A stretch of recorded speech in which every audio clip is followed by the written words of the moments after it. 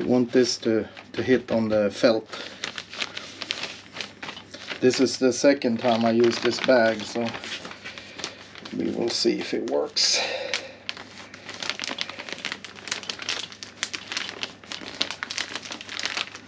These are bags I bought on Amazon. I'm sure you can buy them anywhere. Uh, am I still filming? Yeah. And you just use your vacuum cleaner to suck a vacuum.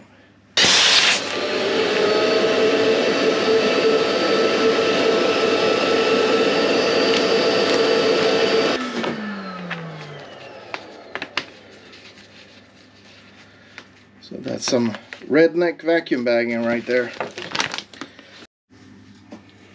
So it's the next day and of course I didn't film when I tore this off but you can you can uh, you can see how the peel ply and, and the felt is sort of glued together and the felt has uh, has absorbed uh, the excess uh, epoxy.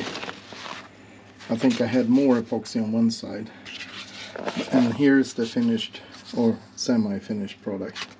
So this uh, rudder now has two layers of glass on each side and a little bit of carbon up there that I managed to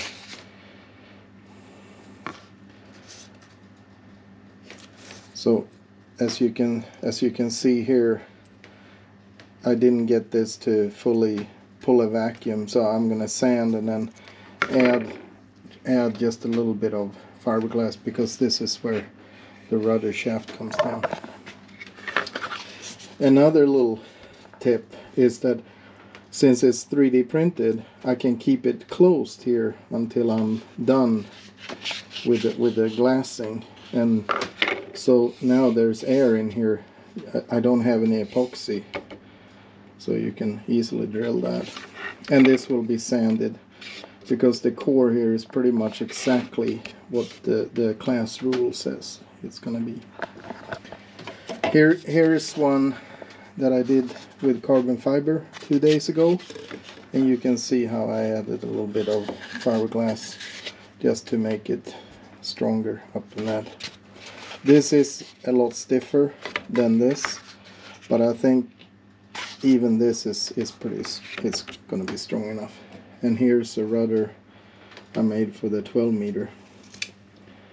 So this is John Swarbrick's design. This this rudder will actually go on uh, this will go on uh, Kookaburra 3.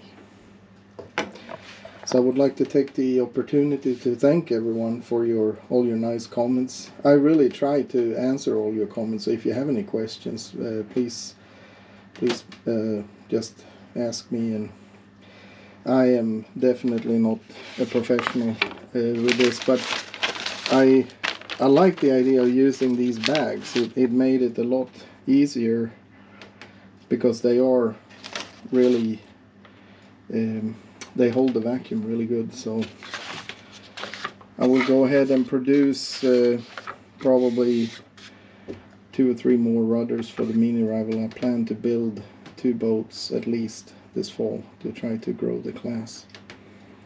So um, thank you very much. I'm sorry this video is a day late but uh, thank you very much for watching and uh, I hope everyone is having a good week.